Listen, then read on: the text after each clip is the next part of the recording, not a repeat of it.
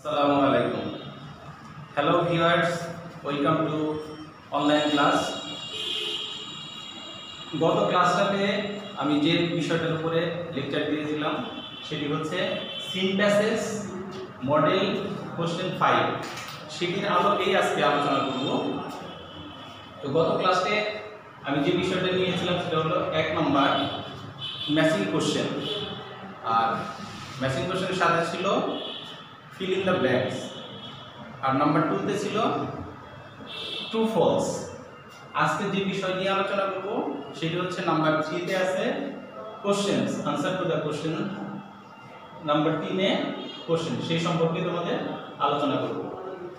এর পূর্বে আমি বলতেছি যেটা, সেটা তোমাদের বই, খাতা এবং কলম, এটা অবশ্যই সাথে নিয়ে নিবে।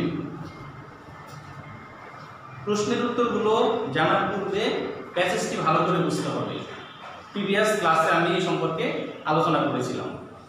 আজকেও সেটা বলছি যখন তুমি প্যাসেজটি ভালো করে বুঝতে পারবে, তখন তোমার প্রশ্নের উত্তর এবং শর্ট কম্পোজিশন যেগুলো প্রশ্ন থাকবে, সেগুলো তোমার জন্য আনসার তোমাদের জন্য আনসার করা অবশ্যই সহজ হবে। তো আমি এখন প্রশ্নের আলোকে প্যাসেজ থেকে তোমাদের সহজভাবে উত্তরগুলো বলে দিচ্ছি। প্রশ্নের প্যাসেজের মধ্যেই প্রশ্নের উত্তরগুলো নিহিত রয়েছে। তুমি যদি ভালোভাবে প্যাসেজটি বুঝতে পারো, তোমরা তাহলে প্যাসেজ থেকেই উত্তরগুলো দিতে পারবে। আমি সেই প্রশ্নগুলো করে উত্তরগুলো বলে দিচ্ছি। দেখো, প্রথম প্রশ্নটা হচ্ছে, why is birthday special day? কেন জন্মদিন বিশেষ দিন? এখানে দেখো প্যাসেজটিতে রয়েছে, আমি যেটা আন্ডারলাইন করতে বলব, সেই লাইনটাই তোমাদের আন্ডারলাইন করতে হবে। প্রথম প্রশ্নটার উত্তর হচ্ছে a person's birthday is a special day একজন ব্যক্তির জীবনে জন্মদিন একটি বিশেষ দিন। This is the date when the person was born এই দিনটি হচ্ছে সেই দিন যে দিন সে জন্মগ্রহণ করেছিল। তাহলে তোমাদের প্রথম প্রশ্নের জন্য আন্ডারলাইন করতে হবে। প্রথম প্যাসেজের প্রথম দুটো লাইন এই দুটো লাইন তোমরা আন্ডারলাইন করে নাও। এই নাম্বারে উত্তরের জন্য। এবার আসি নাম্বার বি বি নাম্বার প্রশ্ন আছে what are the two necessary things for a birthday party জন্মদিনের পার্টির জন্য দুটি গুরুত্বপূর্ণ জিনিস কি কি? দেখো, এখানেই প্রশ্নটির মধ্যে উত্তর নিহিত রয়েছে। প্রশ্ন থেকে কীভাবে উত্তরটি লিখবে সেই সম্পর্কে আমি তোমাদের বলে দিচ্ছি। এটার উত্তরটা এইভাবে লিখতে হবে the two necessary things for a birthday party are cake and candle জন্মদিনের পার্টির জন্য সবচেয়ে গুরুত্বপূর্ণ বিষয় জিনিসগুলো হচ্ছে কেক এবং মোমবাতি। এটি কিন্তু তোমাদের প্রশ্নের মধ্যে উত্তরটা দেওয়া আছে। এরপরে দেখো নাম্বার সি সি নাম্বার প্রশ্নটাতে আছে how is a birthday party observe জন্মদিনটি কীভাবে উদযাপিত হয়? এটি প্যাসেজের মধ্যে নিহিত আছে। আমি বলে দিচ্ছি, সেটা তোমরা আন্ডারলাইন করে নেবে। দেখো, দ্বিতীয় প্যারাতে প্যাসেজটির দ্বিতীয় প্যারাতে প্রথম লাইনে রয়েছে, সেটা তোমরা আন্ডারলাইন করবে। There is often a party for a child's birthday. জন্মদিনের পার্টির জন্য there is often a party for a child's birthday শিশুর জন্মদিন পার্টির মাধ্যমে উদযাপন করা হয়। The child's friends come to the home শিশুটির বন্ধুরা বাড়িতে আসে। There is special food like sweets সেখানে বিশেষ, সেদিন বিশেষ খাবারের ব্যবস্থা করা হয়। সাধারণত মিষ্টি জাতীয় জিনিসের ব্যবস্থা করা হয়। The children play games and sing শিশুরা খেলাধুলা করে এবং গান গায়। এগুলি হচ্ছে জন্মদিনের পার্টিতে সাধারণত হয়ে থাকে। তাহলে তোমরা আন্ডারলাইন করবে দেয়ার ইজ অফেন থেকে সিং পর্যন্ত। এই তিনটা লাইন আন্ডারলাইন করবে নাম্বার সি নাম্বার প্রশ্নের জন্য। এরপরে আসি ডি নাম্বার প্রশ্ন দেখো কি আছে? How is a birthday gift জন্মদিনের উপহারগুলো কেমন হয়ে থাকে সাধারণত? এটিও আমরা প্যাসেজের মধ্যেই পাবো। দেখো সুন্দর করে দেওয়া আছে প্রশ্নের উত্তরটা। একদম লাস্টের তিন নাম্বার লাইন থেকে দেখো। শেষের তিন লাইন তিন নাম্বার লাইন আমি পড়ে যাচ্ছি অর্থ সহকারে। The gift may be a toy a book or some clothes জন্মদিনের উপহার হতে পারে খেলনা, বই বা কিছু কাপড়। The gifts are wrap in colourful paper উপহারটি রঙিন কাগজে মোড়ানো থাকে। তাহলে তোমাদের জি নাম্বার প্রশ্নটার জন্য আন্ডারলাইন করতে হবে। এখান থেকে the gift may be a toy a book or some clothes এই পর্যন্ত। এরপরে করতে হবে উপরের লাইনটা। উপরের লাইনে দেখো দেওয়া আছে তার উপরের লাইনটাই the gift are wrap in colourful paper এই দুটো লাইন দিলেই তোমার ডি নাম্বারের প্রশ্নের উত্তরটা হয়ে যাবে।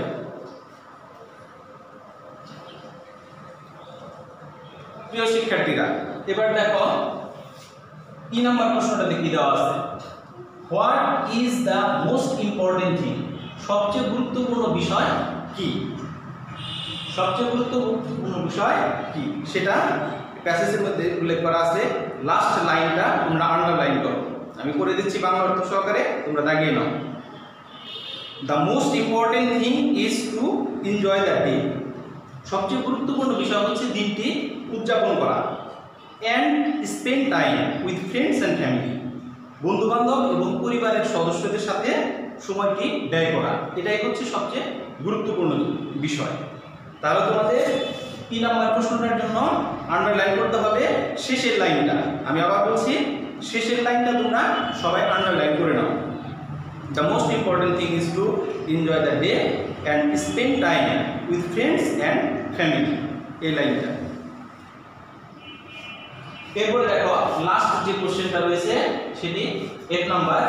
How do people use a cake on one's birthday একজনের জন্মদিনে মানুষ কীভাবে কেক ব্যবহার করে?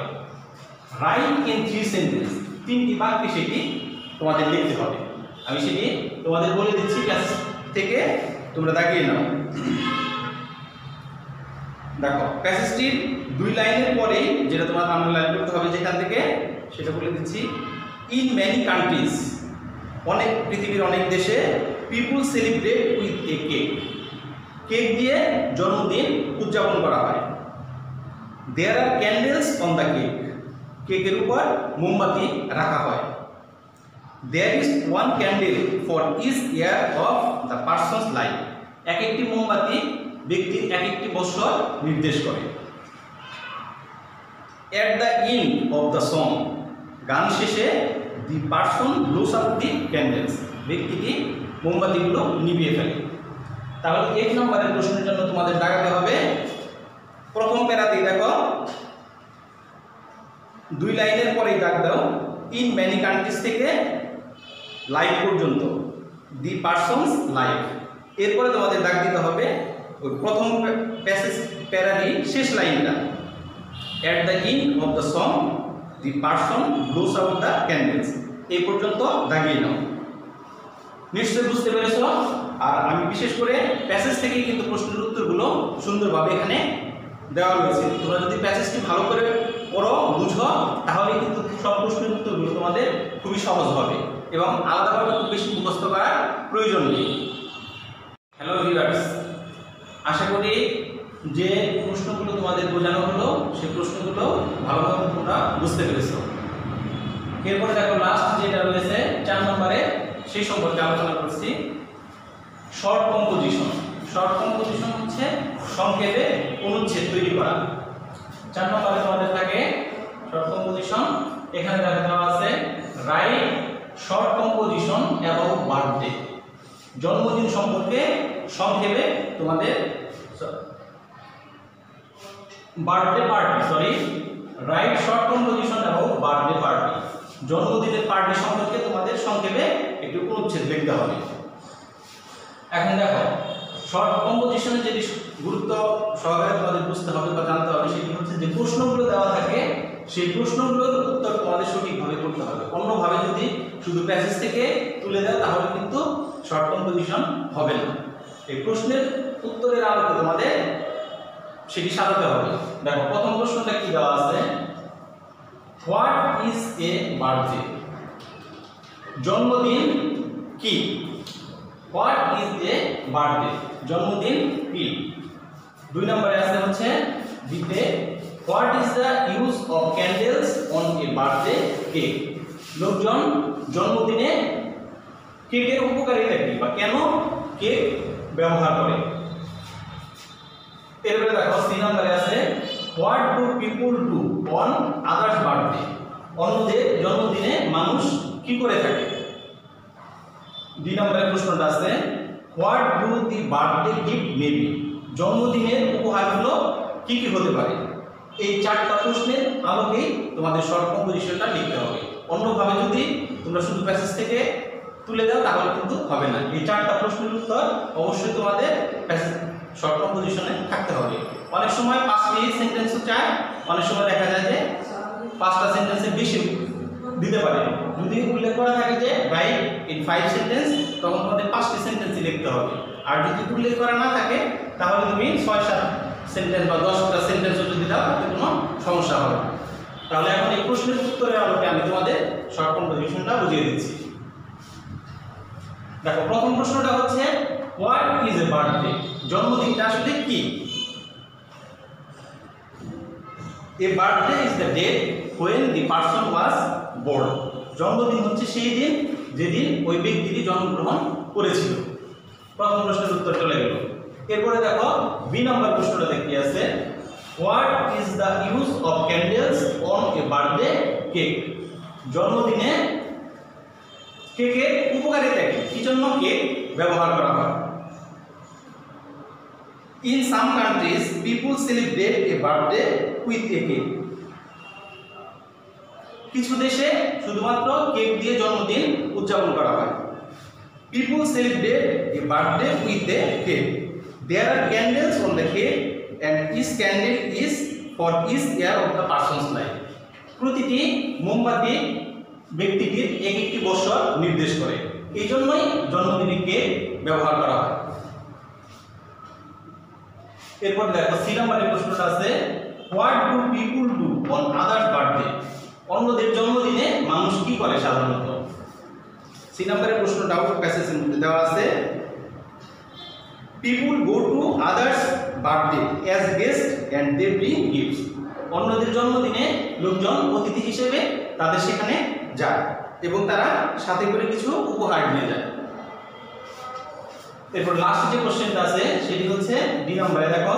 What do the birthday gift maybe জন্মদিনের উপহারগুলো কেমন হতে পারে বা সেগুলো কি কি হতে পারে এই সে- উত্তরটা কিন্তু প্যাসেজের একদম শেষে তোমাদের আগে আমি বলেছি সে শেষেই উল্লেখ করা আছে সেটা আমি আবার পুনরায় বলতেছি They often sing songs, play games and have fun. The gift may be a toy. উপহার হতে পারে খেলনা এ বুক অর সামক্লস বই বা কিছু পোশাক এগুলো উপহার হিসেবে নিয়ে আসতে পারে দে অফেন সিং সংস ব্যক্তিরা প্রায় এই জন্য গান গায় play games and have fun শিশুরা খেলাধুলা করে এবং মজা করে। এটাই হচ্ছে এই চারটা প্রশ্নের উত্তরের আলোকে এই শর্ট কম্পোজিশনটা এখন তোমাদের গুরুত্ব রাখতে গুরুত্ব দিতে হবে এই চারটা প্রশ্নের উত্তরে।